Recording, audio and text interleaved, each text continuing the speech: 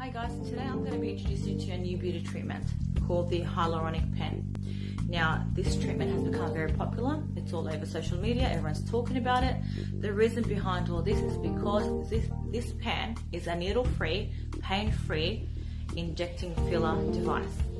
So this is used to add volume into different areas of your skin, whether you want to enhance your lips, your nasolabial folds, your fine lines and wrinkles, under eye um, hollowness, whatever it, it is, that this is what's actually been now used because it's painless, no needles are involved, and no major side effects like you would get with a normal injectable filler.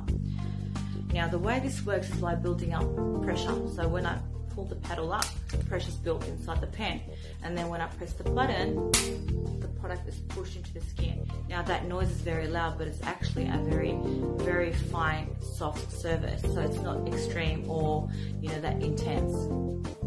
Um, the only thing you'll be left with though is could be these little tiny little holes with a bit of blood spottings around it because that's where the product has gone through or has been pushed through.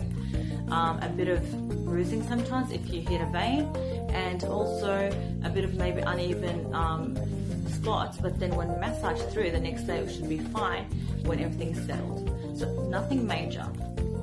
Um, the other thing is I'm going to be using the hyaluronic acid Sculptor filler today. And the reason why we use hyaluronic acid is because our body manufactures the product in general. So we have it in our system. It's not a foreign substance to our body. And as we get older, the body starts to reduce the amount that it makes. So then we start having softer skin, saggier skin, we'll lose that plumpness. And that's why using fillers with hyaluronic ingredients is actually great for our skin. Hyaluronic acid has very tiny molecules which can carry 1000 times the size in water.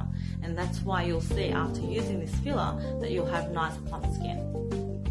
Now, because I have larger lips in general, so I'm not going to be performing the treatment in my lips or on my lips, I'm going to be doing um, underneath my eyes and also my, my nasal labia folds as well. So stay tuned and hopefully I can answer any of your questions.